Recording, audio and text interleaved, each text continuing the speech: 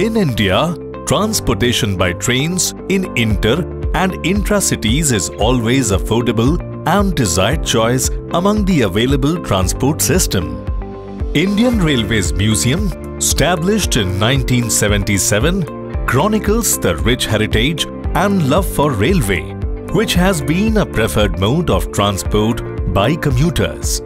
During passage of time, the need is felt to upgrade transport facilities as population and urban sprawling increased exponentially since independence. With rise in technology and infrastructure, Delhi Metro Rail Corporation started their operation in 2002 with vision commuting experience with Delhi Metro to be customers' delight. And presently, with completion of Phase 3, DMRC network consists of about 391 kilometers with 286 stations. The network has now crossed the boundaries to satellite cities and reached Noida and Ghaziabad in Uttar Pradesh, Gurugram, Faridabad, Bahadurgarh and Ballabgarh in Haryana. In order to provide pre-eminent journey, Delhi Metro focused on riding quality through their infrastructure in safety, seating comfort, temperature, ventilation and air conditioning, lighting, last but not the least to control over vibrations. Human body is sensitive to vibrations in different frequency ranges and it becomes prevailing factor while analyzing commuting experience. After extensive study, it is found that ride comfort count as one of the criteria for evaluating the dynamic behavior of vehicles. It is used to describe the degree of passenger comfort from perspective of mechanical vibrations, taking into account the psychological characteristics of human body to which it is subjected to. And ride index concept arose which is widely known as Sperling's Ride Index that provides numerical values for various degrees of riding comfort as Ride Index.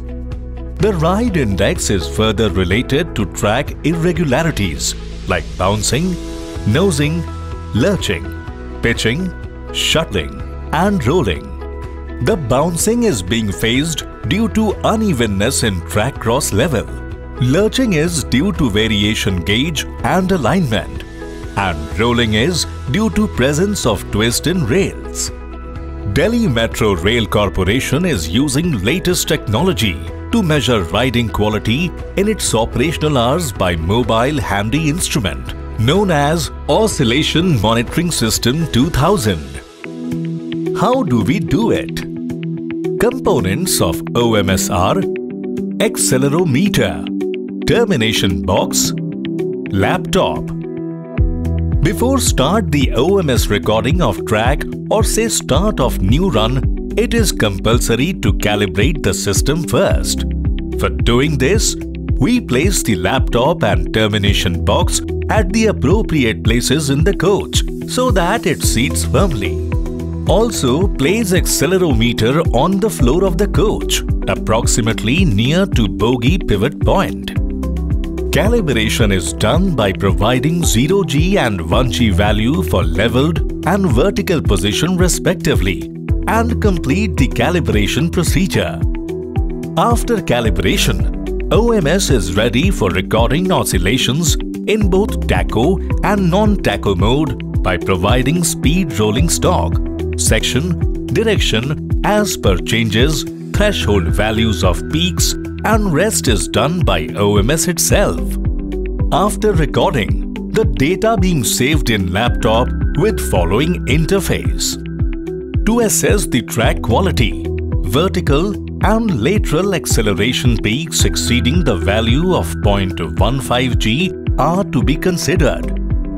Track quality is based on average number of peaks per kilometers and it is very good if peaks are less than 1. Good if peaks between 1 to 2. Average if it is greater than 3.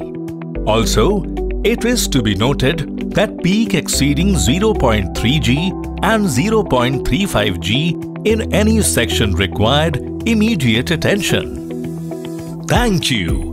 You were watching a video by Delhi Metro Rail Academy.